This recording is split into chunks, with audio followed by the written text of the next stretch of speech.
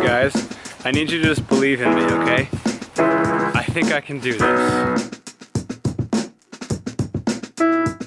Welcome back to another episode of The Adventures of Gilligan Phantom, which is about turning a school bus into a traveling tiny house. Ridiculous idea. It's gonna be worth it. Okay, I have made some decisions. That right there is a mini split. That's a great spot for it. I think it would be okay, but it would block up a lot of my storage access. Now, another option is I could just mount it to back of the bus. The install is gonna be way easier. Like, what's the path of least resistance? Let's make it fancy, but let's try and do it easy. Let me tell you about the drawbacks to this location. Drawback number one, I don't really know how much noise it makes, but I know that having it above the bedroom window, we're gonna be able to hear it versus over there underneath the bus, not so likely. Drawback number two is that mini splits, when they're installed, manufacturer instructions is 10 feet of line set. If I'm gonna mount it out there, and I'm gonna mount my inside unit right there, how am I gonna get 10 feet of line set? Well, I'm banking on the fact that I can coil enough line set in this space to have the manufacturer um, recommended line set. It's a little bit less protected, so I don't know, it's kind of just a trade-off. But after much deliberation, this is what I'm gonna do. So right now, I'm going to work on the inside unit. I'm gonna take down that rear bulkhead, and I'm gonna mock up where it's gonna get installed. Stay tuned.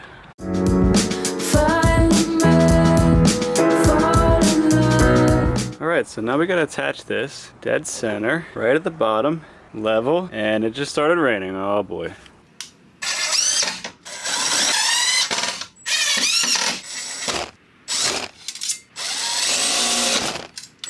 Okay, now we gotta cut this drain hole. We're gonna use a two and a half inch hole saw, and we're supposed to cut it at an angle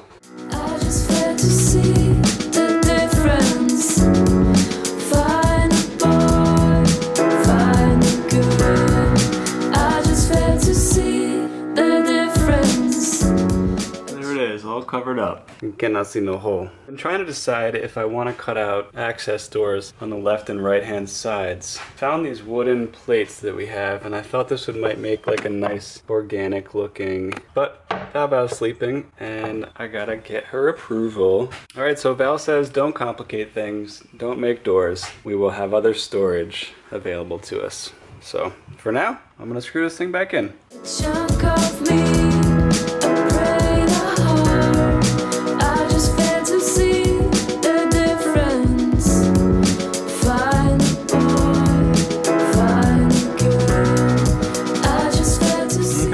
Installed. I don't think Val's gonna like the fact that it hangs down at the bottom a little bit. I might take it off and redo it, but ta-da! Hey guys. All right, I'm sorry, I've been selling you short.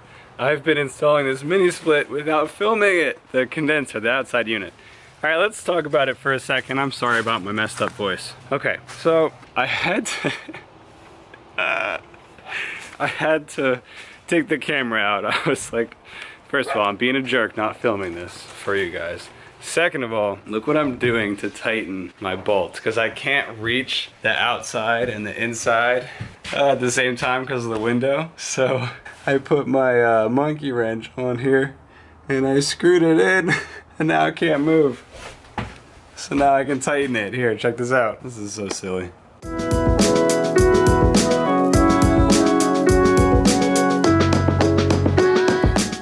You guys see that?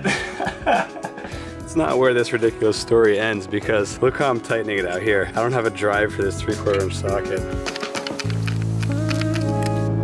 Just make it work, guys.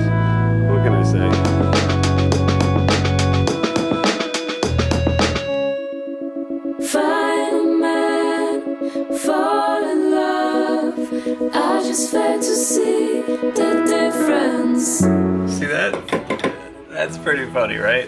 I think that's funny. Hey guys, I need you to just believe in me, okay? I think I can do this.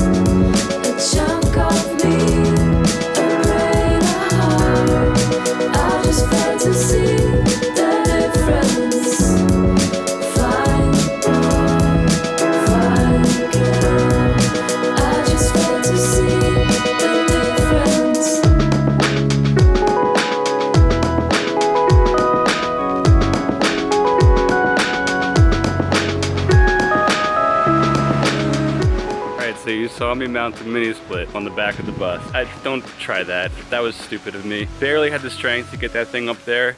I was sick. It weighs like 100 pounds. It was a little bit irrational of me. Moving on. As soon as I got it up there, I was like, I totally did the wrong thing. It should not be up there. I failed to install it because this is just not acceptable to me. I bought this rack as like an add-on to my mini split when I bought it, thinking, you know what, it's like 30 bucks there's a chance that I'll do this. I didn't research this rack. I just let them send me whatever they have. I don't know what's up with this thing, but you saw that it folds up a little bit as I was putting it up. I thought that these, that when I finished mounting it, it would lock it down. This, this rack is just wrong for this. Even though I've seen it in some pictures of skoolies, you can see that this thing still moves. It's just, it was a bad idea. This mini split, while it cost me like maybe $700, worth like 50 bucks to a scrapper, whether or not it's smashed to pieces on the ground or intact. So somebody could just bring a ladder up to this, unbolt it, and go make 50 bucks, you know, maybe buy some heroin or something. Where we live, that's not gonna happen, but someday when we're traveling with this thing, yeah, that, it's just gonna drive me nuts. That in addition to the fact that I'd have to get some new racking system for this, because like, just look one more time. Like, no. I was just trying to take the easy way out. So that thing's coming down. I'm sorry that this is very much to be continued. I've put this project off for a while. I figured until I have AC power on the bus, there's not much point in um, finishing it. Next time you see a video about mini splits, this thing is getting mounted again and it's going underneath the bus. It's probably not even gonna go in a storage compartment. It's gonna go on one side of the gas tank. There's tons of space under there. Sorry that this is not the ultimate mini split install guide. Next time I do this, I'm gonna crush it, I promise. It's gonna be mounted really strong in a great location. I'm gonna get my mini split guy out here to make the connections for me. I'm gonna show you how I run the line set. Um, but for now, you can just use this as an example of maybe something that you don't wanna do and maybe I saved you some time. So thank you for watching.